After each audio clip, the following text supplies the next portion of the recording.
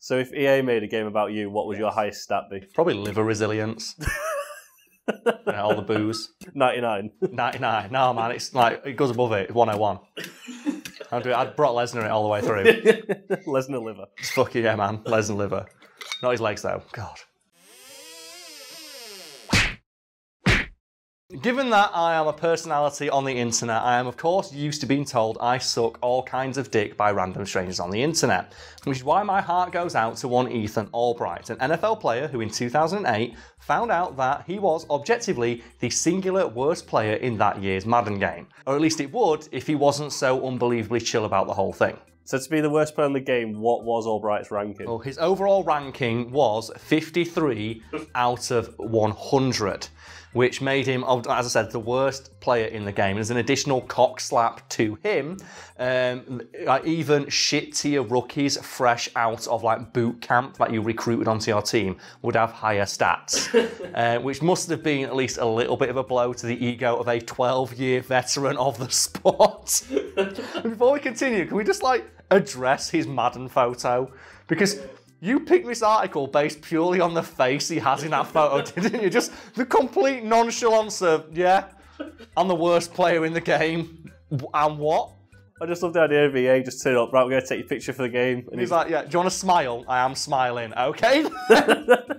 so whoever edits this, your mission is never put anything over this photo. That photo stays there the entire time we're talking because it's so fucking hilarious. But it reminds me of like the World Cup. And do you remember when they had like every World Cup player had like a little introduction? Yeah. Like a like a three second animation and walking into frame and just like folding their arms. And I always wondered, like, were they told to do that? Could they have done something else? And I remember like the piss take someone did, where it shows you a few players in a row, then one player comes up and does it, and then another player comes up behind him and hugs him. like they're posing like a pregnancy photo on Facebook. My favourite is uh, there's a, a soccer player, I should say, um, called Jimmy Bullard. And when it was his turn to do it for Sky, Okay. he'd literally did three takes and they were absolutely incredible. Did Like- he just do it wrong on purpose or something? Yeah, and there was one bit where he had his shorts literally up below his like ch- chest. I don't know why more players don't do shit like that because like, um, talk about like FIFA. I remember where it's like Pele is in the game, like so they always put like legendary players in. Yeah. And someone discovered that the photo they used for like his legend portrait was a, pho- a cropped photo of him in his hot tub because he couldn't be asked posing for a new one. So they just put a crop photo of him in his and crop that on his thing, which makes me think he's fre- like that version of Pele that's on your team. He's fresh out of the fucking hot tub. He should be in like swim shorts on the pitch. Oh, that'd be amazing. Oh man, but they'll never do that because that would make the game fun. So I've always said for FIFA, they need to do schoolyard picks mode. This is like my idea to make FIFA fun. Yeah. And just randomly pick like a group of like, you know, players and then put in there some well-known ones. Like put in like your Messis and stuff like that. Yeah. So people know them. And then just give each player, all right, now pick five. One at a time, schoolyard picks. Yeah. Pick your team and then do five aside. But no, that's too much fun. It's too much fun. It's fucking like have this broken career mode. Oh, don't get me started on that career. we won't, mode. we won't. We'll continue. We'll talk more about Albright. Did Albright actually give a shit about this? No, and that's the hilarious part about this. Like, like in his own words, it's just a video game. And when someone asked him, "How do you feel about being the worst ranked player in Madden this year with a rank of 50, like an overall ranking of 53?" His response was, "Well, it was 50 last year, so I'm doing okay." it's getting better. Like, he a, like, he did not give a fuck, which actually makes him like an exception to the rule because according to EA, the number one complaint they have from players in all of the sports games they produce is that their stats aren't high enough. yeah.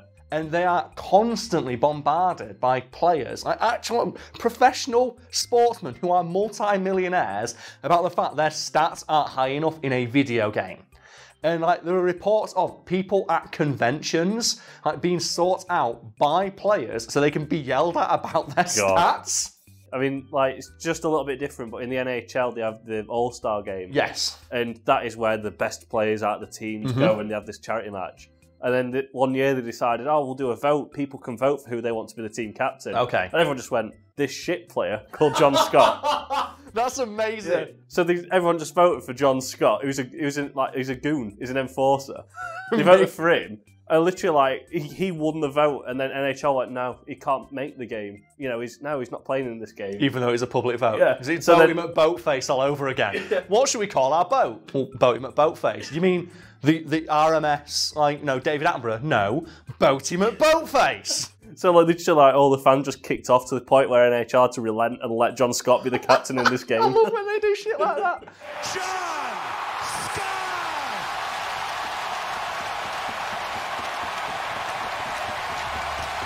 So I thought you were going to talk about like um, the legend of this channel, like Mr. Wayne Gretzky himself, Oh, the great whose one. stats were so good that in uh, what is it now? Fantasy League NHL, they had to have Wayne Gretzky goals, Yeah. Wayne Gretzky assists. Yeah. Because why would you not put him on your team? And you can only have one of the Wayne Gretzkys. Like, had to split him into two. he was that fucking good. It's like, oh man, like that's a character who should have max stats. If there's any character who have max stats, it'd be Wayne Gretzky and Bo fucking Jackson. Like, those two, they were just like animals of the thing. But oh man, let's talk more about those players complaining about their stats. So when you say that, are there any funny examples that stand out for you? Yes, um, there's an article like discussing this, like people who work at EA, like about oh man, players just never shut the fuck up about their stats. It's so annoying. And there's a great little anecdote from someone who works for the company, and said oh, I was approached by a now retired player called Byron Leftwich. Who couldn't understand why anyone in the game was faster than him and bugged me about his stats the entire time he was there, seemingly unaware of the fact that asking the same question over and over again and getting the same answer and then asking it again would indicate that you are slow in at least one regard. but I just love the idea that it's like, how can anyone be faster than me? It's a fucking video game. Yeah, yeah. But make my stats higher though. I just think that's great. Like these multi-millionaires like bitching about their fictional stats in a video game. And then you've got just Ethan fucking Albright, the red snapper himself. So I don't give a fuck. I'm a millionaire. Why would I give a shit? I'm in the NFL. Who cares? Why was he so terrible? Well, this is the interesting thing because like he was actually a pretty good player at the time. Like not the best, but decent enough. And an EA representative like explained to him, not that he needed to explain because he didn't care, that like the reason your stats are so low is because the position you play, I think it's left snapper, Yeah. doesn't exist in this version of Madden. Therefore, there was nowhere on the pitch we could put you because the one thing you excel at is not a thing the game can do. Yeah. So we had to basically just neuter all of your stats because you can't do anything. The one thing you're good at, you can't do in the game.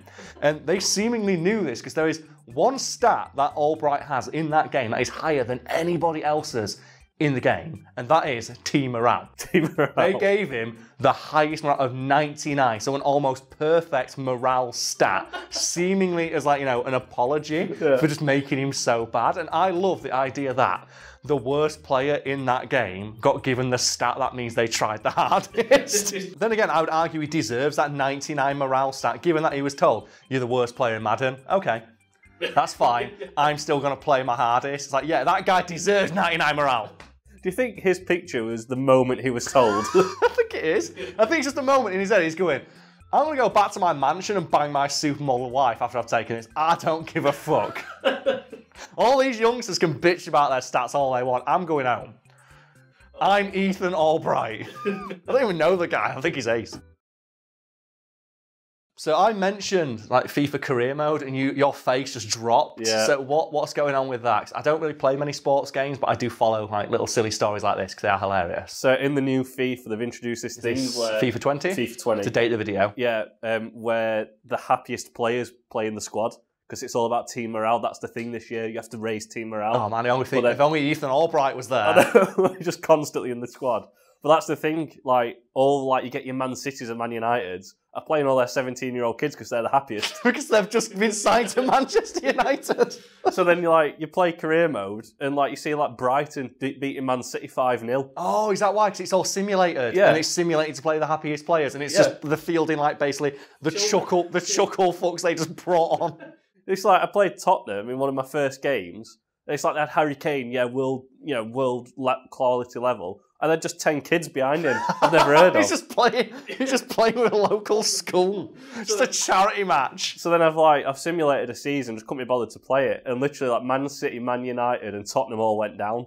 And it's like that's just That doesn't Not like, right. This is a game that sells itself when it's rea- like it's realism. yeah, That reminds me a bit of when I was playing like Fight Night one time. Yeah. And I was trying to like, you know, get my guy to like, you know, be the best. So I was ducking every single mm. fight at sets games that I knew I could win.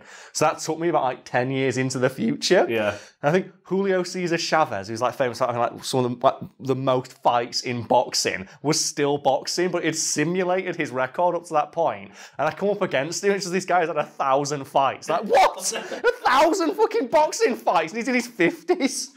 It's like, who is this god? Just this ageless, like, sentinel of boxing? And he whooped my ass. Because his stats were so high, so he'd been boxing for like a thousand years. I'm just fighting like Imhotep in the ring. It's like, what do I do?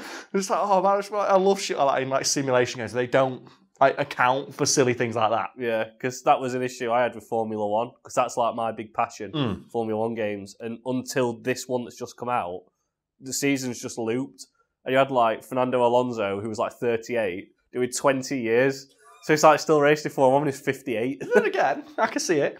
but it's just now they've actually done it where like drivers can retire, so it looks a bit more real. That's thing. That's like, like Julio Cesar Chavez. He's just fighting, and he's like in his eighties or some shit, and he's fought every boxer in the world twice. It's like before you become the champion, you must fight the ultimate boxer. You must fight the guy who, when the bell rang, that was the Big Bang, and he's been fighting ever since. just this immortal, ageless deity who just like channels all of boxing spirit into himself. It's like, yeah.